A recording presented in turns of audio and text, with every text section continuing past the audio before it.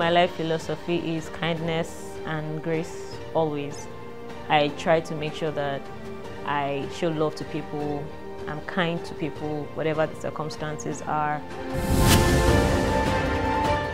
So the Relief Project is basically an NGO that focuses on providing relief for communities on the borderlands. We're focused on riverian communities, communities on the coastline, more or less. So our first project was at Dustbin Village in Ajegunle. It was practically a community that people lived on the dump site. For now, we've done about eight communities so far, and what we do is we crowdsource relief items for them.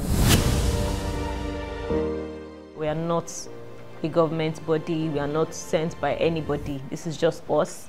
As far as I am convinced of the importance of the work that I am doing, and I have people who need this project, then I would continue to do it.